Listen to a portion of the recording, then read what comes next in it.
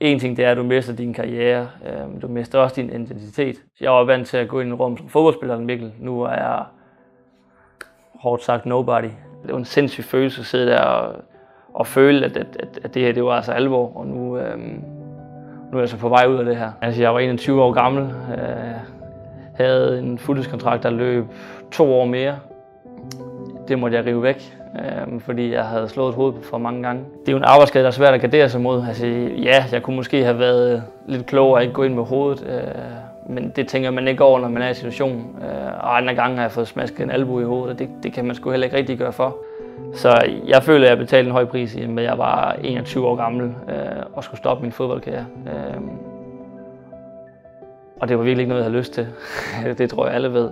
Det første 7-8 måneder, de var hårde. Øhm, jeg kan huske, at jeg specielt havde svært ved at se Sønderjyske spil, øhm, fordi jeg tænkte, at jeg skal simpelthen være med. Øhm, også når man sidder på stadion, det er jo ikke fordi, man har rigtig har ondt nogle steder, så man føler godt, at man kan være med. I starten, da jeg stoppede med at spille fodbold, der fortsatte jeg egentlig som U17 assistenttræner for Sønderjyske.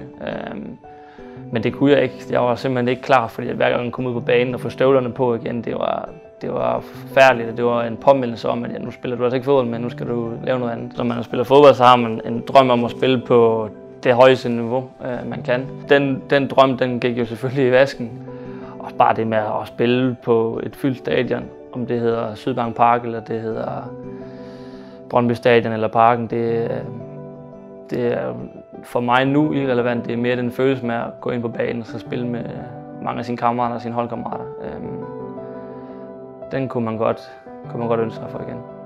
Jeg har været til behandling forskellige steder, hvor jeg har hørt om tilfælde, der har været meget værre end mine. Øhm, og personer, der, der virkelig kæmper med det hver dag. Og nogle gange, øh, hvis man skal tage alt betragtning, så føler jeg mig heldig over, at jeg ikke er lige så slemt tilberedt, som de er. Så når du siger hjernerystelse, så tænker jeg, at det, det er en ting, man skal være opmærksom på. Og en ting, der ikke er sjovt at døje med.